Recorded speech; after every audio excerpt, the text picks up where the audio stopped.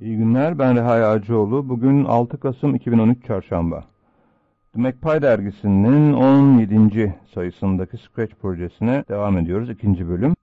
Önceki bölümde hazırlık yapmıştık. Bir vektörün x ve y bileşenlerine ayırmasına sinüs ve kosinüsü kullanarak. Şimdi 36. sayfada mıydı? 36'ya gidelim bakalım. Evet buradaymış. Ee, yazmaya başlayacağız. Yazalım. Bunun ayrıntılarından bahsettik. Scratch projesi açalım ve topu dizayn etmeye başlayalım. Sprite 1'i siliyorum. Aslında silmeden şöyle de yapabilirsiniz direkt. Kostüme gidip ikinci kostümü silip direkt edit dediğinizde silgiyi alıp silgi boyunu büyüldük. Şöyle tamamını sildikten sonra topu tasarlamaya başlayabiliriz. Bunun için dikdörtgeni kullanacağım. Siyah bir dikdörtgen çizeceğim. Şöyle uzaklaşıyorum. Tam ekran. Siyah dikdörtgeni şöyle içi dolu. Yapmak istediğim top namlusunun yarısı kalınlığında böyle bir siyah bir yatay dikdörtgen çiziyorum. Sonra bunların sırasını değiştiriyorum. Şu açık rengi de bir düşüreyim tonunu gri olsun. Sonra boya kovasını alıyorum ve şu tonlamayı seçiyorum. Yukarıdan aşağıya veya aşağıdan yukarıya yani düşey tonlamayı. Şuradaki herhangi bir yukarıdaki bir noktayı tıkladığım zaman böyle yarım tonlanmış silindir görünüm oluyor. Sonra ne yapıyorum? Buradan Stamp Tool alıp bundan bir tane yukarıya kopyalıyorum. Ve daha sonra Select Tool alıp yukarıdakini seçiyorum ve Flip Vertical'ı kullanıyorum. Bunu bunun üzerine yapıştırdığım zaman hassas olması için yaklaşıp ince ayarını yapayım. Şöyle biraz daha yaklaşalım. Şöyle biraz daha yukarıya gitmek gerekiyor. Evet bakalım. Şimdi şurada evet tek bir piksel kaldı. Onu da kapattığımda tamam. Toplamlısı hazır. Toplamlısını bu şekilde bırakabilirim ama biraz daha süsleme yapılabilir istersek. Mesela arkasına bunun kapak, topun kapak kısmını yapabiliriz. Şöyle yaklaşalım. Bir tane siyah ve dolu ve top namlusundan biraz daha geniş bir yarım daire yapıyorum şöyle. Yani şu anda tam daire yapıyorum. Onu yarım daireye çevireceğim. Sırayı değiştir. Boya kovası. Bu sefer şu tonlamayı kullanıyorum. Ortasından tıkladıktan sonra bu bir gülle görünümü aldı. Dolu ile şeffaf ile bunun yarısını şu şekilde silip Select Tool'la seçip bunu buraya yerleştirdiğimde bu topun arka kapağı olsun. Bir tane de topuz yerleştireyim şuraya. Şöyle yine bir küçük bir daire. Bunlar çok şart değil ama daha iyi görünmesini sağlıyor oyunun. Şöyle yine bunu seçip şuradan biraz sol üst köşeden tıkladığım zaman sanki buradan ışık geliyormuş gibi buna da. Ee, ve bunu da yerine yerleştirelim. Şöyle olsun. Biraz içeriye girebilir şöyle. Uzaklaşıyoruz. Böyle bir topa benzer bir şey oldu. Daha da uğraşıp daha güzel hale getirilebilir. Bir tane de tekerleğe, bu top arabasının tekerleğini yapmamız gerekiyor. Daireyi alıyorum. içi dolu. Şöyle kahverengi olsun. Ahşap olsun örneğin. Şöyle yaklaşık bir daire çizdim. Şimdi ne yapacağım? Şöyle yapacağım. Bunun merkezini işaretlemem lazım. Bu tekerleğin merkezi etrafında dönecek açıyı ayarlarken. O yüzden kostüm center'ı şöyle göz kararı evet biraz sola gelirse aşağı yukarı böyle. Çok da merkezi olmadı. Burası tam simetrik değil gibi ama bu yeterli. Sonra bunu OK deyip kaydediyorum. Bir de ateş almış halini yapmam gerekiyor. Bu hmm, sprite'ın ismi Canon. Top anlamına geliyor. Cannonball'da e, top güllesi. Buna ready ismini veriyorum bu kostüme. Hazır. Ateş etmeye yani ateşlemeye hazır. E, ve bundan bir tane kopyalıyorum. Alttakini de fired. Ateşlenmiş olacak. Tekrar geri dönüp ready'ye uzaklaşıp select tool'la yukarıdan bunu seçip şöyle ortasına gelecek şekilde aşağı yukarı ortaya gelecek şekilde yerleştiriyorum. Hemen hemen oldu sayılır. Evet fena değil. Dergideki gibi olmuyor ama istediğiniz gibi yapabilirsiniz. Buna edit diyorum Fire'da. Fire'da da aynı işlemi yapacağım ama biraz farklı. Select Tool'la namluyu alıyorum. Şöyle biraz geriye doğru yerleştiriyorum. Yine ortaya yakın bir yere. Yalnız biraz geriye. Bu bana iki şey sağlayacak. Birincisi sanki geri tepme varmış gibi bir efekt verecek. Biraz daha geriye bile alabilirim şöyle. Bir de buraya patlamadan dolayı duman ve kıvılcımlar çizeceğim. Onun için yer sağlıyor. Şimdi o duman efektini verelim şöyle yaklaşıp. Fırçayı alıp brush size'ı en incisine getiriyorum. Ve siyahla şöyle bir bulut gibi bir şey yapıyorum. Şöyle.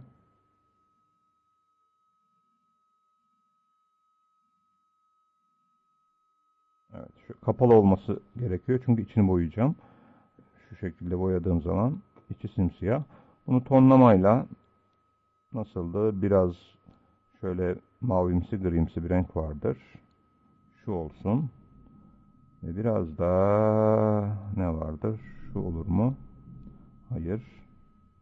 Gri ve mavi olsun. Şu şekilde. Ters döndürürsem daha iyi. Yok böyle daha iyi. Şuradan bir yerden tıkladığımda ama tabii yanlış. Şunu tıklamam lazım. Şöyle yaptığımda grisini biraz daha koyulaştırayım. Şöyle en koyu gri olsun. Bu daha iyi. Şuraya tıkladığımda ya da undo şöyle tıkladığımda evet. Fena değil. Sonra line'ı alıyorum. Brush size'ı kalın bir tanesini seçiyorum. Siyahla çizeyim. Sonra içini renklendireceğim. En sağdayım. Evet. Şöyle yapıyorum. Şuradan dışarıya doğru kıvılcım efekti verecek şekilde fırlayan alevler gibi şöyle çizgiler çiziyorum.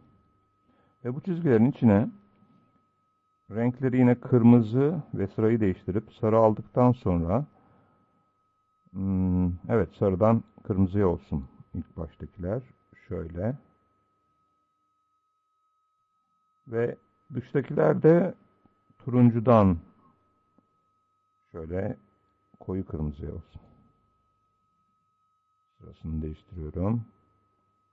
Şöyle. Uzaklaştığımda işte böyle bir top sanki patlamış gibi bir etki. İkisinin de kostüm center aynı yerde olduğu için şu şekilde geçtiğinde evet tam eksenel gitmiyor ama olsun. Yani biraz yukarıya doğru kaydırmışım. Şimdi onu düzeltmek çok mümkün değil. Yaparken dikkatli yapmak lazım. Ve bunu küçültüyorum. Yeterince küçüldüğünde evet aşağı yukarı böyle iyi. Bunu şurada bir yere koymam gerekiyor. Ve dergideki gibi şöyle bir arazi çizmem gerekiyor. Davulla top arasında bir tepe olacak. Davuldan sonra da şöyle tekrar yükselen bir tepe var. Bunu istersen burada çizebilirim. Şunu da yapabilirim. Kendi çizdiği sahnede programın içinde topun, kanonun gideceği yeri eksi 174 x ve eksi 81 y koordinatlarına göndermiş. Ben de aynısını yapayım. Şöyle yapıyorum. Bu çok şart değil ama sadece bir teknik göstermek istiyorum. Ee, motion'dan go to eksi 171 174 ve eksi 81 eksi 81 bunu tıkladığım zaman buraya geldi. Şimdi artık bundan Save Picture of Stage dediğim zaman herhangi bir isim verebilirim. İsmi önemli değil. Z, Z, Z, Z. Sonra stage'e gidip importla ZZ'yi aldığım zaman ve sprite artık buraya götürsem bile background'da böyle bir top var. Biraz sonra sileceğim onu. Araziyi oluşturduktan sonra. Araziyi oluşturmak için şöyle bir yeşil renk alıyorum. Fırçayı alıyorum ve en ince alıyorum. Şuradan bir yerden başlıyorum çizmeye. Şöyle yapalım. Burada dönecek bu. Şöyle. Şurada bir yerde bir tepe. Ve davulun olacağı yerleştireceğimiz yer. Ve burada bir daha yükseliyor. Şuraya kadar. Araya bir tane e, tepe girmiş oldu. Şuraya da kapatmam lazım. Şimdi boyadığım zaman dışarıya taşmaması için. Kovayı alıp içeriye tıkladığımda evet bu oluştu. Gökyüzünü de şöyle mavi bakalım bu iyi mi? İyi fena değil. Gökyüzünü oluşturacak mavi oldu. Şimdi bunu OK dediğim zaman arka plan böyle ama burada fazladan bir tane top var. O topu silmem gerekiyor. O bana sadece referans için işime yaradı. Onu da şöyle dikdörtgen yani kareyi alıp içinin rengini göz damlasıyla gökyüzünden alıp sonra şöyle silebiliyorum. Şuradaki parçayı da şöyle sileyim. Şöyle. Ufak tefek parçaların kalması çok önemli değil. Şöyle uzaklaştım. OK dedim.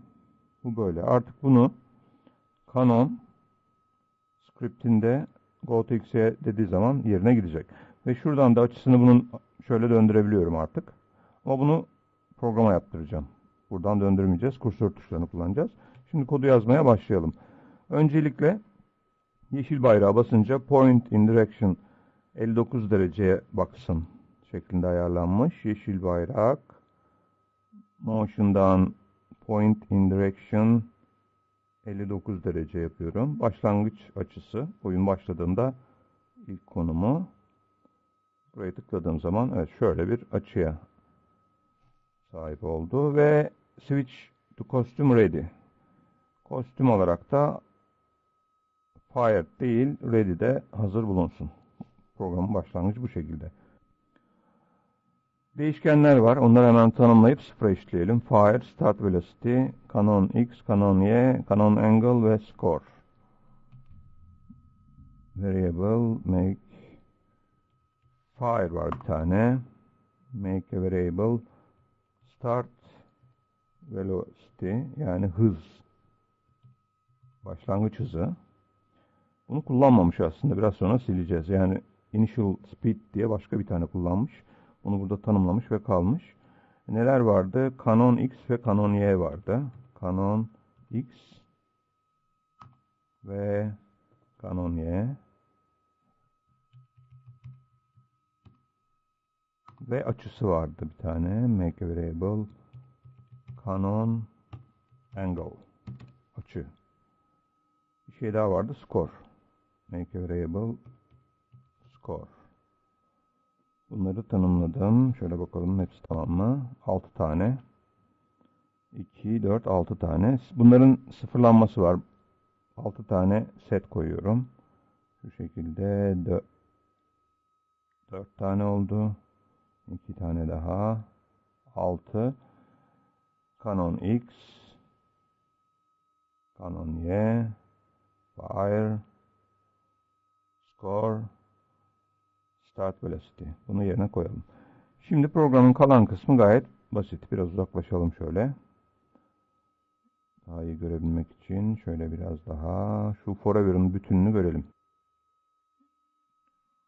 Zoom. Şöyle zoomladığım zaman evet. Forever'ın içinde 1, 2, 3, 4, 5 tane if bloğu var. Kontroller yapıyor. Sürekli olarak kontrol yapıyor. Tuşlara bakıyor. Tuşların şunları yapacağız hemen. Böylece açısını değiştirebiliyoruz. Sonra yukarı aşağıyla initial speed'i değiştiriyor. Initial speed diye bir değişken daha tanımlamamız lazım. Çünkü şurada start velocity demiş. Aslında ikisi aynı anlama geliyor. Start velocity başlangıç hızı. Initial speed de başlangıç hızı. Sonra bu start velocity ben baktım hiçbir yerde kullanmamış. Hep initial speed'i kullanmış. O yüzden onu tanımlayalım. Make a variable initial speed. Başlangıç hızı.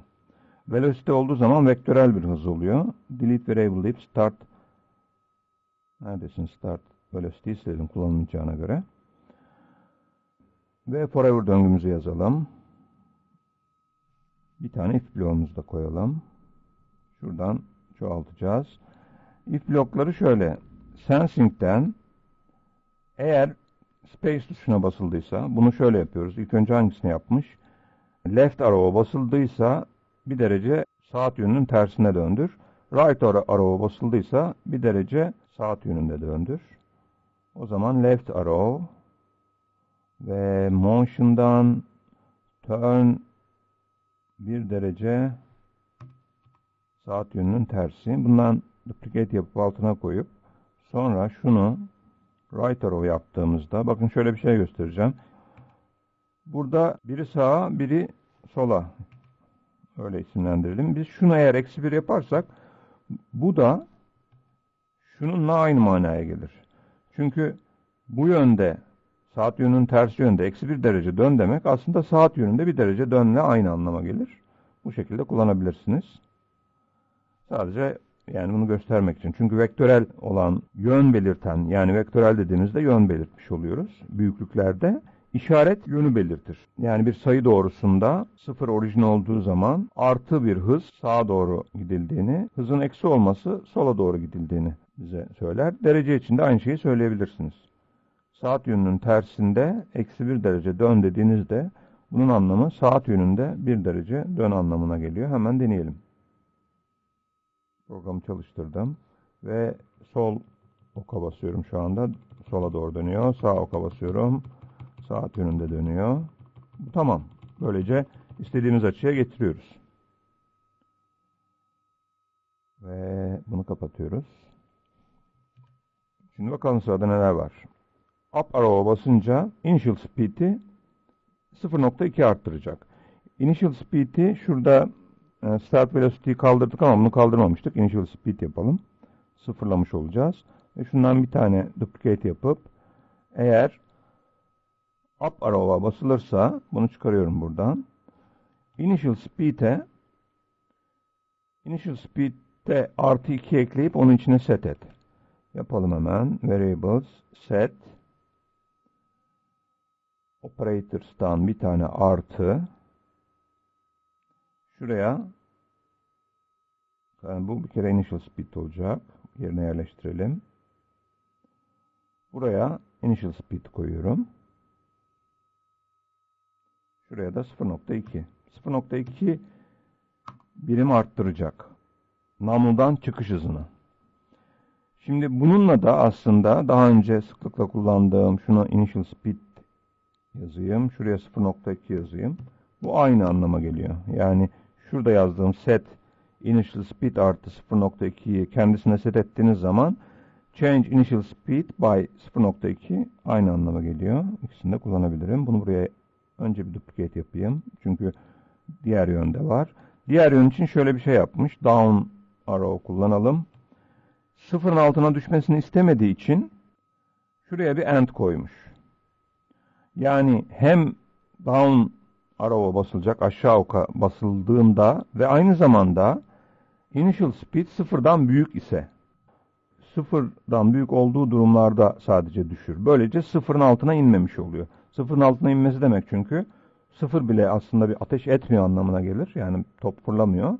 Ama sıfırın altına inmesi de eksi bir hız. Vektörel olunca ters yönde bu yönde gidiyor demektir. Onu istemediği için şuraya şunu koymuş. Operators'tan AND koyuyor. İki tane şart sağlanırsa yani hem ben basmış olacağım aşağı oka ve aynı zamanda oraya bir tane büyüktür koyuyor. Şöyle. Şöyle biraz daha yer kazanalım. Initial speed buraya sıfır koyuyor. Böylece down arrow'u sıfırla sınırlandırmış oluyor. Bakalım. Şimdi initial speed'in yeri nerede? Burada. Şuraya koyalım. Ve neyi değiştiriyor? Turn. Henüz onda bir şey yok ama onu motion'dan direction'ı açtığım zaman Canon Direction'da buraya koyayım. Bu ikisini kontrol ediyorum. Şimdi bunların bulunmasına gerek yok. Lazım olduğu zaman açarım. Şöyle bakalım. Başlangıç 59 dereceye geldi. Tabi 59 derece scratch derecesi. Yani 0, 12'de olmak üzere oradan itibaren saat yönünde ileri. Ya bunu ters çevireceğiz kullanırken. Bakıyorum. Bu çalışıyordu. Evet bunu değiştirdikçe Canon Direction da değişiyor. Initial Speed'de yukarı oka bastığın zaman artıyor ve azalıyor.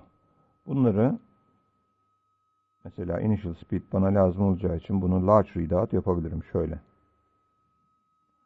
Ve Canon Direction'ın yerine de aslında şöyle yapayım. Tamam yeri geldiği zaman yapayım onu. Bunlar şimdi böyle dursun. Kodun kalan kısmını yazayım. Bir de space'e basıldığı zaman ateşleme yapacak. If bloğu koyayım önce hemen. Şurada yapalım o işi. Kontrol. If bloğu. Space'e basıldığı zaman ateşleme yapacak. Neredeydi? K. Evet. Buna basıldığında ateşleme yapacak. Ve yapacağı işlemler. Şöyle bir kontrol koyuyor. Fire diye bir flag var. Ateşleme olduğu anda şurada fire'ı 1 yapıyor. 1 yaptığı için bu topu ateşledikten sonra topun havada yol alması ve hedefe varması biraz zaman oluyor ya. Bu zaman boyunca fire değişkeni sürekli 1. Boolean yani mantıksal değişken olarak kullanıyor. True false da yazabilir, yazılabilir buraya aslında. 1 olduğu için tekrar topun yolculuğu sona erinceye kadar, herhangi bir yere çarpıncaya kadar hep 1 olacağı için tekrar siz space'e bastığınızda bunu end kullandığı için burada space'e bassanız bile fire 0 olmayacağı için end demiş çünkü e, ateşleme çalışmayacak. Burada ateşleme kitlemiş oluyor. Daha sonra Cannonball şeye vardığı zaman, hedefe vardığında, herhangi bir yere temas ettiğinde, bunu biraz sonra göreceğiz. Fire'ı sıfır eşitliyor. Yani yolculuğu sona erdiğinde, şuradaki repeat until'den çıktığında fire'ı sıfır eşitliyor. Ve böylece sizin tekrar ateş etmenizi sağlıyor. Şimdi onları yazalım. Buraya o zaman bir and de buraya geliyor. And buraya basıldıysa ve fire bunun için eşitlik koymam gerekiyor. Fire eşittir sıfırsa. Başka şartlarda çalışma. Bunu yerine koyayım. Şöyle aşağıdan yazmaya devam edelim. Neler yapacak? Ateşlendiğine göre hemen bir switch to costume fired. Fired kostümüne yani şu pozisyona gelecek. O zaman Lux'tan switch to costume fired olacak. Sonra neler yapıyor? Hemen fire'ı bir yapıyor. Biraz önce söylediğimiz şey. Ateşlendi artık ateşlendi bayrağı, flag'i bir oluyor. Ya da boolean değişkeni. Sonra Canon X'i ve Canon Y'yi pozisyonunu buraya yazıyor. Ateşleme olduğu anda Canon X ve Canon Y'yi. Ve açıyı buraya yazıyor. Bunları şunun için yazıyor. Buraya kaydediyor ki top şurada Canon X, Canon Y'yi Canon açısını bunları kullanarak hesaplamalarını yapabilsin. Onlar için hazırlık yapıyor. Başka bir şey yapmıyor. O yüzden buraya hemen set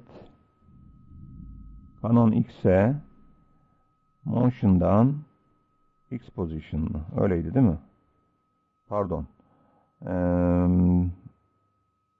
aslında bu da olur. Olması lazım. Çünkü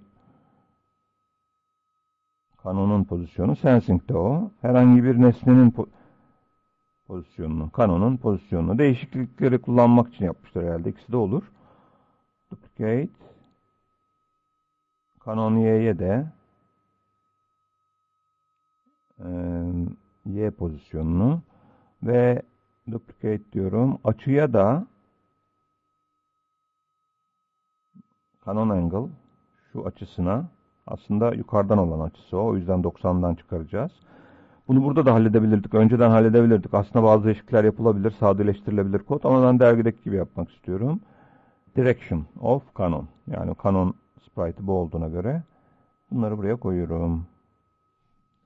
Ve biraz aşağı kaydırıp yazmaya devam. Artık yaptığı şey 0.5 saniye bekleme. Yani bu ateş pozisyondaki görünümü, fired kostümü bir süre görünsün diye. Çünkü şu işlemler çok hızlı yapılır. Bu 0.5'i koymazsam ateşleme görünmez. O yüzden kontrolden wait şuraya 0.5 saniye koymuş. 0.5 saniye bekle. Sonra Lux'tan switch kostüm ready'ye geri dön. Şimdi bu Fired'ı bir yaptığı için sadece bir sefer ateşlemek için benim işimi görür. Şöyle çalıştırdım programı. Açıyı ayarladım. Şuradaki atış hızını da ayarlıyorum. Şöyle. Space'e bastığım zaman bir kere ateşleme yaptı. Henüz bolu yani topu hmm, top mermisini henüz tasarlamadığım için e, bir şey fırlatmadı ama tekrar space'e basıyorum çalışmıyor. Çünkü fire fire'ı açalım artık 1. Bu 1 olduğu için tekrar çalışmıyor. Ancak 0 olduğunda çalışır. Bu şimdilik burada dursun. Sonra kaldırırız. Ve program forever döngüsünde olduğu için sürekli çalışıyor. Durdurdum. Böylece programın kanon kısmı bitmiş oluyor.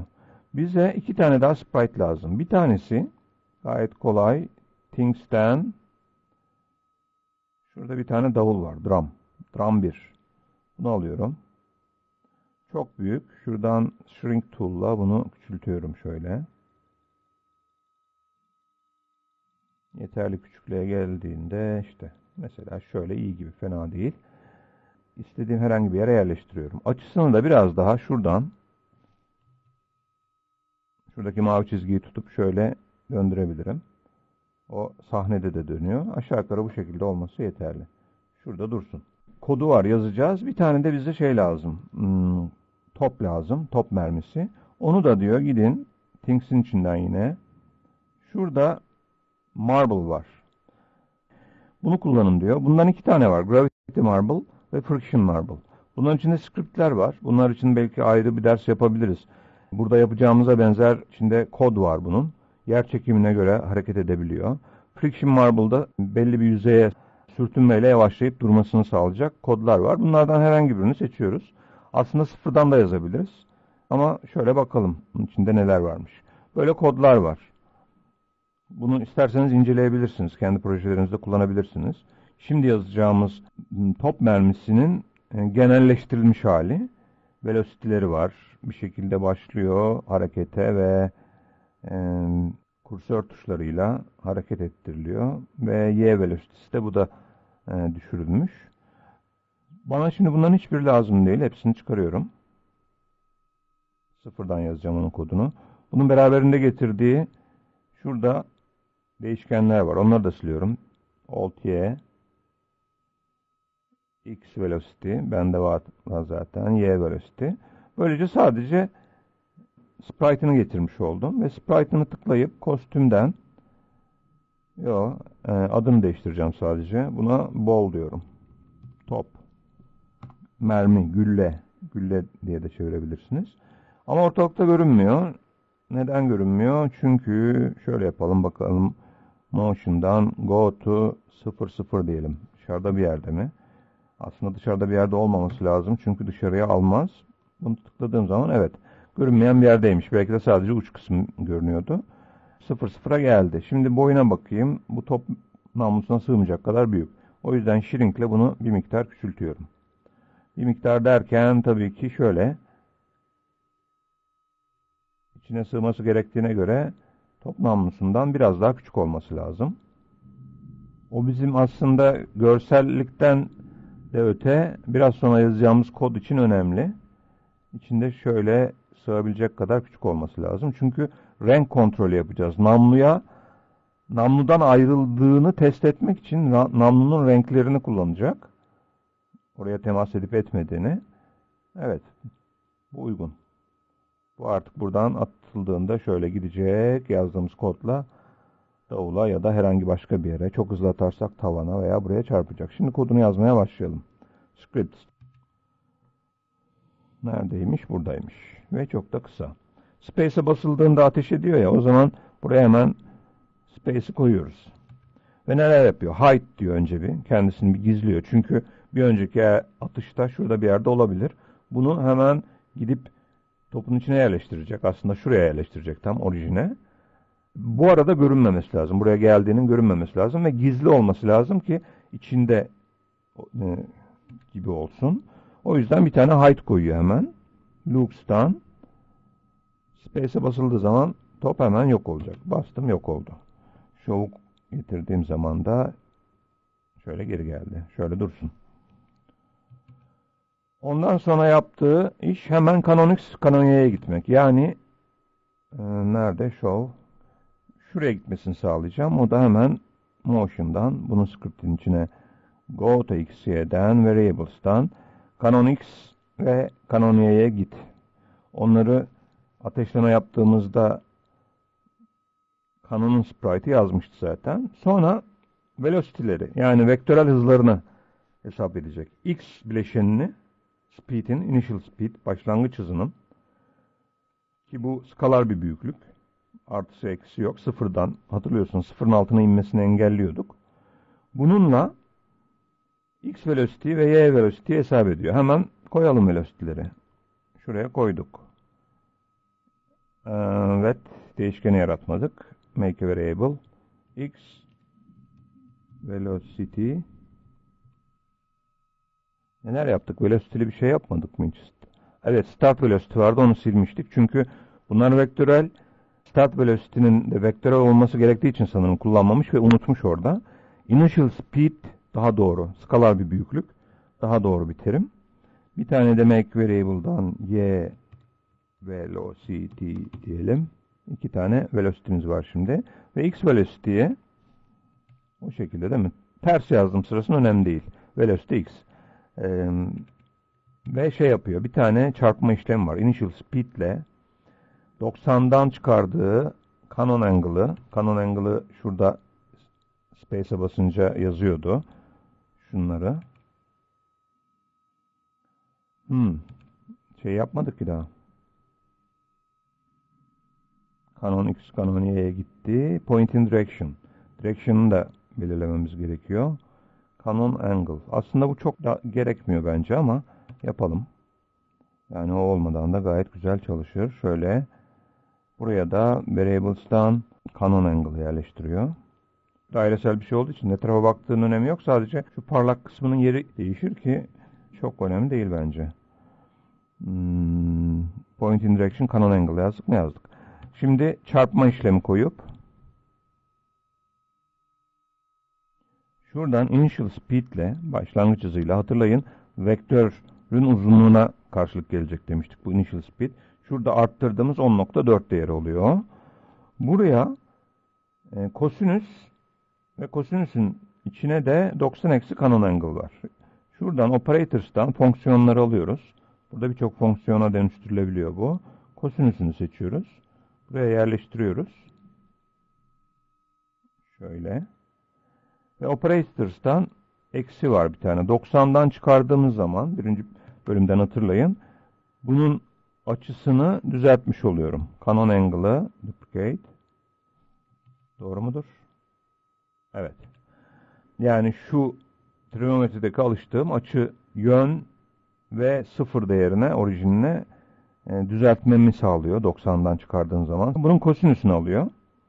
Sonra initial speed ile çarptığı zaman x yani şuradaki 10.4 hızın yatay bileşenini buldu.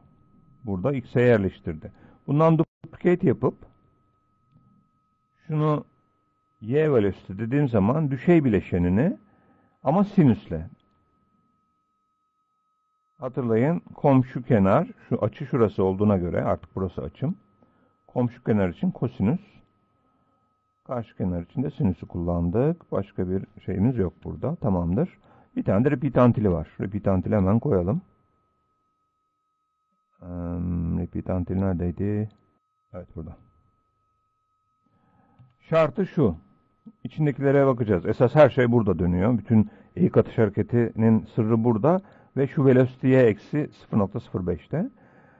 Ama repeat until ne zamana kadar sürecek? Şimdi touching color yeşil ise or veya touching edge ise yani herhangi bir kenara çarpıyorsa veya touching drum ise. Drum'un ismini drum diye değiştirmem lazım. Spike yazıyor. Buna drum yapıyorum. İsterseniz bunları Türkçe'de yapabilirsiniz tabii ki. Yani ben sadece dergiye paralel gitmeye çalışıyorum. Şimdi gidip molun içine o üç tane operators'tan or'u koyayım. Yani herhangi birisi sağlandığı zaman üç tane or koymanın yolu bu. İkincisinin tıpkı join'daki buraya koyduğun zaman bu ya da bu ya da bu sağlandığı zaman yani şu üç olaydan bir tanesi sağlandığında repeat until'den çık. Bu ne demektir? Top ya şöyle yeşil bir yere değdi demektir. Ya davula değdi drama ya da çok hızlı gidip buradaki edge'lerden, kenarlardan birine değdi. Onları koyalım şimdi. Yeşile değmesi sensing'den touching color buraya koyuyoruz. Şuraya. Sırası önemli değil. Buradaki renk için basıp göz damlasını alıp şuradan yeşil renk aldık. Tamam. Diğerleri nedir? E, touching color değil artık touching nesne. Şöyle drama değdiyse gelip buradan buraya değdiyse çıkacak. Diğeri de edge'lerden birine. Onu da touching edge burada var mı? Var. Evet. Bu şartlar altında dönen bir repeat hareket. Ve bu hareket sırasında Y bileşenini buldu ya düşey bileşeni. Yukarıya doğru belli bir hızla gidiyor. Yer çekimi yüzünden bu hız her bir adımda biraz azaltacak. Çünkü bir yer çekimi bunu aşağı doğru çekiyor. Bu yukarıya doğru bir hızı var ama Y bileşeninin yer çekimi kuvveti etkisiyle bu hız azalıyor. O yüzden yukarıya attığımız bir şey kafamıza düşüyor zaten. Bunu yapıyoruz oraya. Change Y velocity düşey bileşenini eksi 0.05 yapıyoruz. Bunu deminkine benzer şekilde şöyle yapabilirdik. Y velocity şuraya operators'tan eksi koyardık bir tane. Ve buraya değişken olarak yine y velocity koyardık ve buraya 0.05. Bunların ikisi de eş anlamlı tamamen. Dergidekini kullanalım. Y velocity biraz azaltsın. Sonra e, change x by velocity x. Şimdi y'yi değiştirdi burada ama x'i değiştirmiyor. Çünkü x yatay bileşeni ve e, hiçbir müdahale olmazsa sonsuza kadar devam eder. E, onu yapalım şimdi. Change x ve y motion'da x'ini ve y'sini değiştirecek. Neye göre? x'ini x velocity ekleyecek sürekli. y'sini de y velocity ekleyecek ve buraya. Sadece y'yi azaltmış oldu. Ve şurası da önemli. Şimdi buradayken orijine yerleştirdi. Fırladığında topun şuradan topun ucundan çıktıktan sonra görünür hale gelmesi lazım. Yolculuğuna burada başlıyor, içeride devam ediyor ve buradan sonra. Bunun anlamı da şu, eğer buradaysa griye temas ediyordur. Yani şuradaki grilerden birine. O yüzden onu bir koyuyoruz. Eğer değilse not touching color gri buna değmiyor ise ve diğer bir şart daha koymuş gökyüzü mavisi. Gökyüzü mavisine değiyor ise. Yani hem buraya değmiyor, temas etmiyor olacak şuradaki gri renge hem de gökyüzüne temas ediyor. Ancak o zaman göster diyor. Bir tane kontrol koyuyoruz. Tek ifti değil mi? Evet. Bir tek if. Şöyle bir if. Bir tane AND operatörü. ikisinin birden sağlanması gerekiyor. Ve bunlardan birisi e, NOT koyuyoruz başına. Sebebi de şuydu. Sensing'den touching color.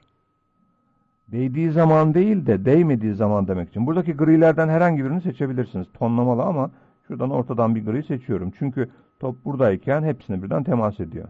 Şuradan fırladığında. Bunlara temas etmiyorsa ve tekrar touching pardon sensing'den touching color'ı koyup şuraya tıklayıp gidip gökyüzünün mavisinden alıyorum bir tane. E, birbirine çok benziyorlar. Biri gri, biri mavi açık renk olduğu için. Ama buradan aldığım için mesela şunu daha koyu bir yerinden alabilirsiniz şöyle. Bütün tonları olduğu için hepsi de doğru çalışır. Ancak bu durumda show yapsın. Yani görünsün. Sonra şu şartlar sağlanınca bir yere temas etti demektir. E, döngüden çıkacak. Fire'ı sıfır yapacak. Stop script. Fire'ı artık işlemi bitti. Tekrar space'e basılabilir hale getirecek. Fire sıfır ve stop script. Bu tamam. Bir deneyelim bakalım nasıl çalışıyormuş. Bu kadarı çalışır mı? Çalıştırdığımda şunun orijine evet çalışıyor mu? Çalışıyor. Tamam. Şöyle yapmam gerekiyor. Sıfır. Başlangıç hızını arttırıyorum. Başlangıç hızı vermediğim için bir şey olmadı. Ha, evet çok yavaş geldi bu. Demek ki daha yüksek bir hızla yapmam lazım. Arttırıyorum hızı. Evet. Şimdi de çok uzağa gitti. Şöyle açıyı arttırıp hızı biraz düşürüyorum. Ha, düşürmüyormuş. Ne oldu? İkisinde de yukarıya gidiyor. Çünkü orada bir hata yapmışım. Hem yukarı basınca artıyor hem aşağı basınca artıyor. O da şundan. Ee, nerede artıyordu? Down arrow, up arrow. Evet ikisini de artı yapmışım. Şunu eksi yapmam gerekiyordu. Hiç söylemiyorsunuz. Eksi 0.2. Burada azaltacak. Down arrow basınca şimdi bakalım. Program çalıştırmam lazım tabi. Yukarıya doğru basınca evet böyle ve aşağı azalıyor. Tamam. Şimdi açı da böyle ateşledim ve şimdi şöyle açıyı biraz arttırayım ve fırlatma hızını azalttım. Bastım. Sanki çok yavaş gidiyor gibi. Bunun hızlandırmanın yolu nedir? Niye böyle yavaş çalışıyor? Ben bunu daha önce yazdığımda daha hızlıydı. Neyse ona sonra bakarız. Şu değeri büyüttüğünüz zaman da yok fark etmez. Tamam. Şimdi drum'ın kodu kaldı. Drum da top eğer kendisine gelirse şöyle temas ettiğinde skoru arttıracak. Bir tane skor verecek. Şöyle yapalım hemen. Skoru açalım. Neredeydi skor? Ve şuraya koyalım. Skor burada olsun. Canon Direction artık istemiyorum burada. Çünkü onu görsel olarak açısını görüyorum. Bu kalacak. Ee, initial speed. Fırlatma hızı. Velocity'leri de kaldırıyorum. Bunlar işte. Ha evet önce bir onu izleyelim. Hareketi görmek için. Şöyle başlangıç hızını şöyle 4 yaptım. Ateşlemeyi yaptığım anda bakın Y hızı azaldı azaldı sıfır oldu sonra eksi yönde artmaya başladı aşağıya doğru. Evet. Onları da gördükten sonra kaldırdım. Şimdi son olarak Fire'da kaldırıyorum. Fire'da çalıştı. Çünkü ateşleme yaptıktan sonra şimdi basıyorum tekrar ateşleme yapmıyor. Değdikten sonra bakın tekrar yaptı. Ben sürekli Space'e bastığım halde top havada olduğu müddetçe yere değinceye kadar çalışmıyor. Son drum'ın kodunu yazalım şimdi. Ve oyun bitecek kodu. Ne varmış? Cannonball. Hmm. Evet. Cannonball'da Space'e basınca height yapıyor. Bir de şey koymuş. Yeşil bayrak. Yani oyun başladığında şu durumda ya. Ben oyun başlattığım zaman da bunun kaybolması lazım bir ortalıkta. Burada durmaması lazım. Onu koymuş. Hemen koyalım. O sadece tek bir satırlık kod yeşil bayrağı bastığında yani oyun başladığında Lux'tan Hide'de ve kontrolden Stop Script ile kapat. Şimdi oyunu başlattığımda o tık kayboldu. Evet güzel. Ee, şimdi geldik drama. Dramdaki kod çok çok kısa. Bu da aynı şekilde yeşil bayrağı basınca bir forever döngüsüne giriyor. Sürekli kontrol ettiği bir şey var. O da ne?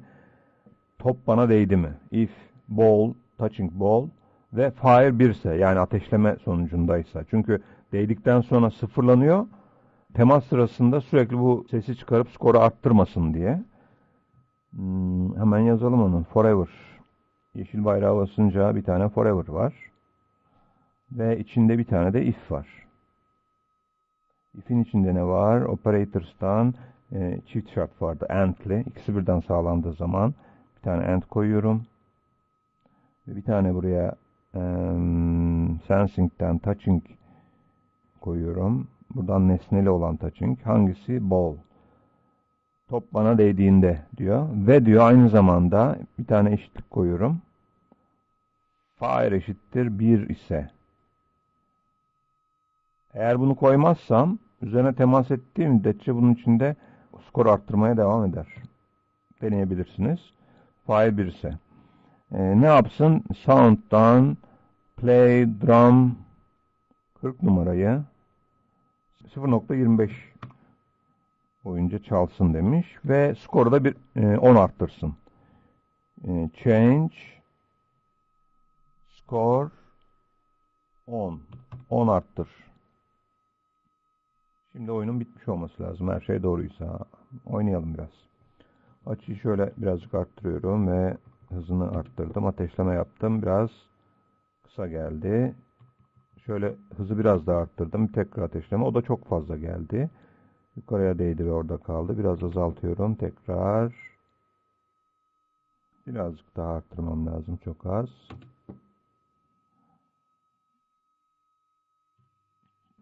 Çok hızlı taradığı için kontrol etmekte güçlük çekiyorum. O yüzden şöyle yapacağım. Canon'da 0. Initial speed'i 0.2 olarak değil de 0.1 arttırıp azaltsın. Çünkü çok fazla hızlı yapıyor bu işlemi. İstediğim yerde durduramıyorum. Buraya bastık. Tekrar açıyı arttırdım. 0.1 Evet şuralara geldi. Ateşledim. Çok az geldi. Biraz daha hızlı. Evet.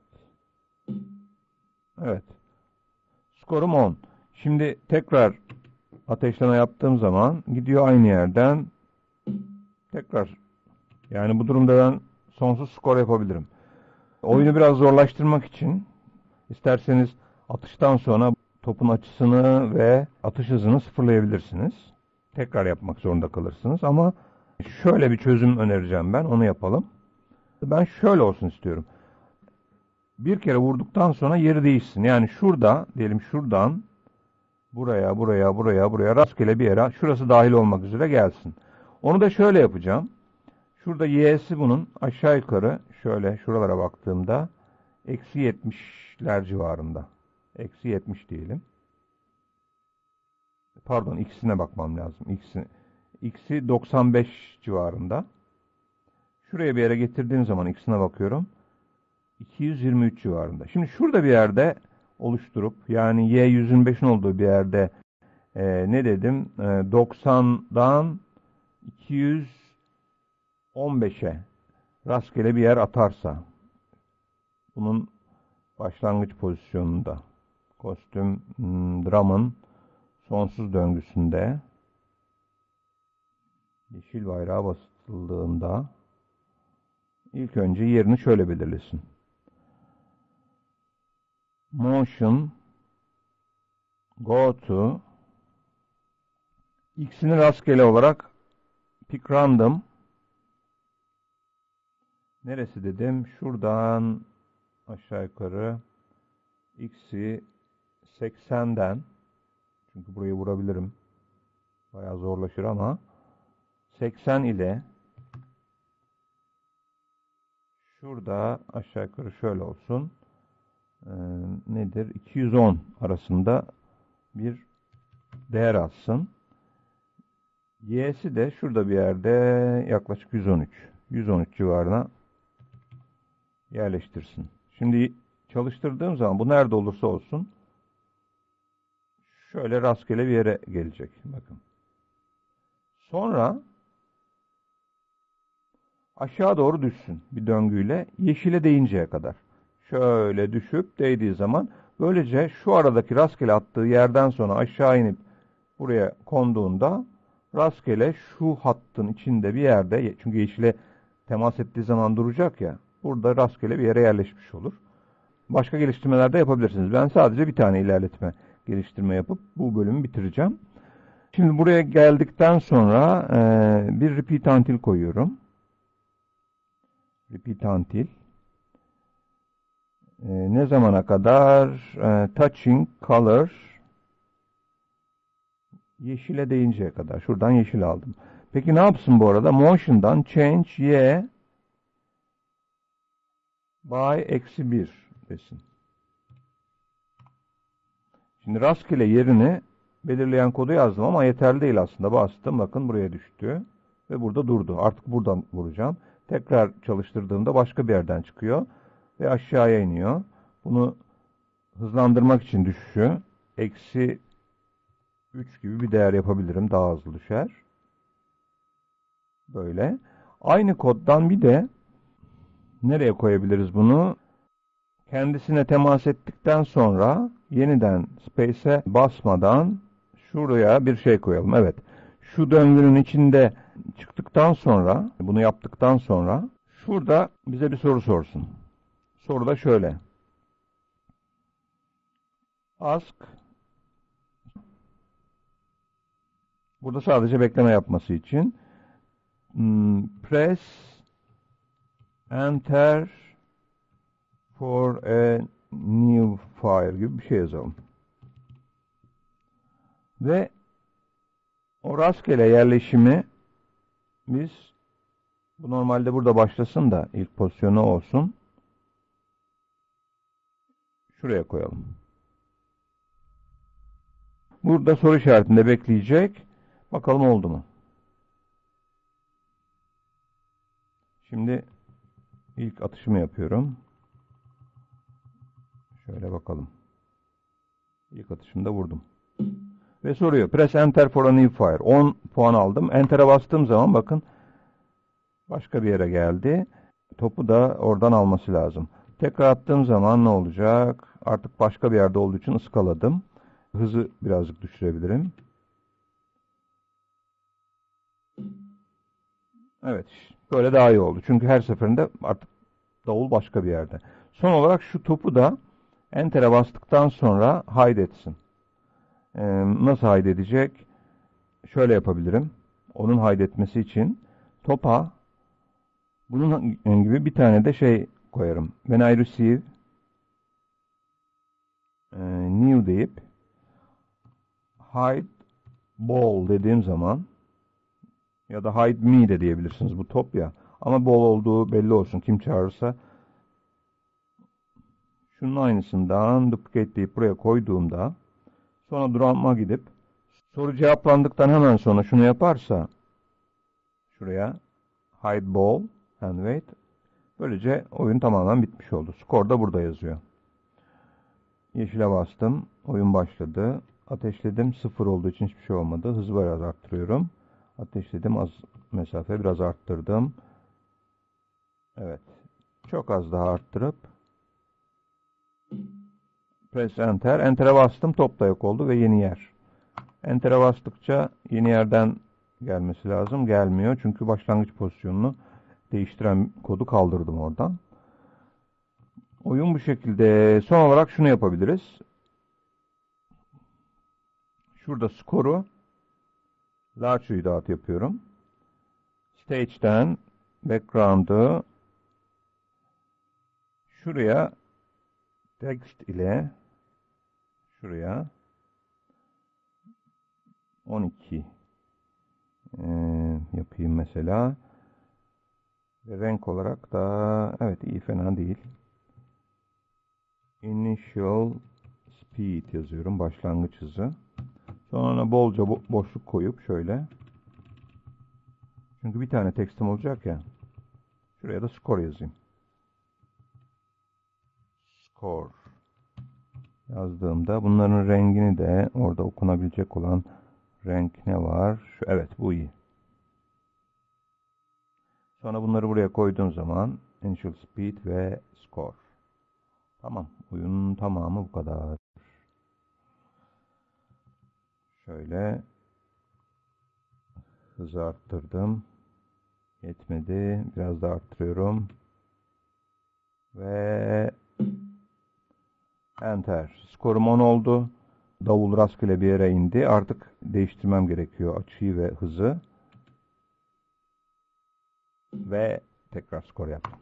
Evet, oyun bu kadar. Siz buna başka geliştirmeler yapabilirsiniz. Buna benzer oyunlar, örneğin ne dedik? İşte Angry Birds'e benzer bir şey yapabilirsiniz. İçinde değişiklikler yaparak daha güzel hale getirebilirsiniz programı. Bu bölüm de burada bitti. Kasım ayında yapıyorum bu kaydı. Son sayıda çıktığını söylemiştim ve bir sketch projesi yok. The Magpie dergisinde projeler çıktıkça derslerini yapmaya çalışacağım. Bu arada önceki projelerde bazı iyileştirme ek dersleri olacak. Onları çekmeyi planlıyorum. E, onları takip ederseniz arada sırada ek dersler bölümünde ya da tamamen The Magpie'dan bağımsız kendi düşündüğüm bazı e, projeler var. Onları tamamladıkça yayınlayacağım. İnternetten sebilgi.org'dan Scratch derslerinden e, yeni dersleri orada bulabilirsiniz. Tekrar yeni bir derste buluşmak üzere. Hepiniz hoşçakalın.